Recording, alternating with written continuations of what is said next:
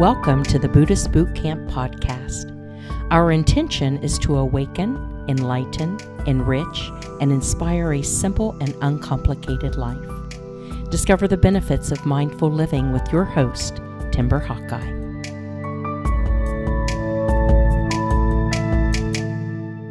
My roommate has a big hiking trip planned for later this year, so she's been training for it every day to make the experience less difficult.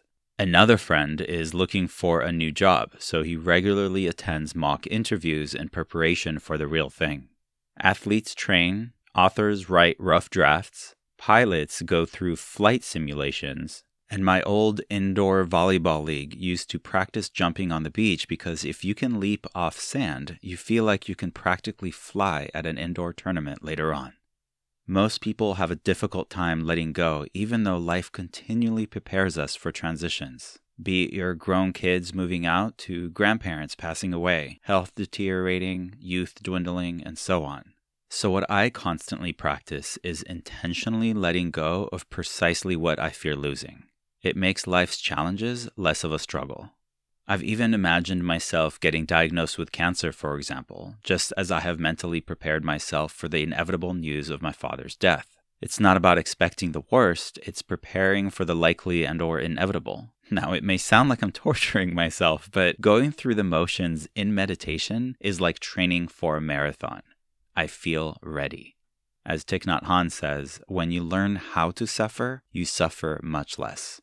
So, a few years ago, I took inventory of everything in my life to which I had grown attached. Then I purposely got rid of it all, from outfits I particularly liked to souvenirs from various trips, favorite books, and all of my CDs. Everything was donated. Now I have five plain gray t shirts that hold absolutely no sentimental value to me whatsoever, and if my home was to catch fire, there is nothing in it I would try to save. By getting rid of the tangible items, we also get rid of vanity, greed, and fear. It's amazing how much energy we store in our possessions and opinions, which explains why they have so much power over us. Now, I'm not suggesting that everyone get rid of everything they own. That's not what I'm saying. But freedom from suffering can be attained by eliminating the very causes of it desire and attachment. The benefit is that when you regularly practice walking directly toward what makes you uncomfortable, the discomfort subsides. And when you start looking at the person you despise as another human being full of anguish, pain, fear, and insecurities, your hatred turns into compassion. Now, it may sound counterintuitive to do exactly the opposite of what you feel like doing, but the old saying goes the cave you fear to enter holds the treasure you seek. In this case, the treasure is freedom from suffering. The question is do you want it badly enough to do whatever it takes to practice staying connected to everything but attached to nothing. Just as professionals in every field hone their skills through practice and training, let's become professionals at living fully by mentally readying ourselves to calmly face whatever comes next, prepared to observe and maybe respond but not react. Here's my question for you To what are you most attached? It may not be a tangible thing like a piece of art necessarily. It could be an outcome, a ritual, your routine, or youthful skin. Can you practice letting it go?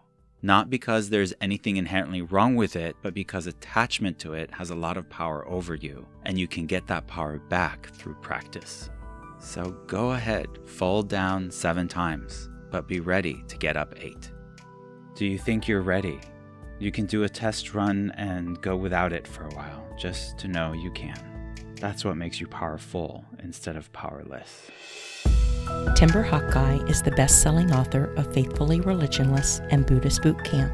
For additional information, please visit BuddhistBootcamp.com, where you can order autographed books to support the Prison Library Project, watch Timber's inspiring TED Talk, and join our monthly mailing list. We hope you have enjoyed this episode and invite you to subscribe for more thought provoking discussions. Thank you for being a soldier of peace in the army of love.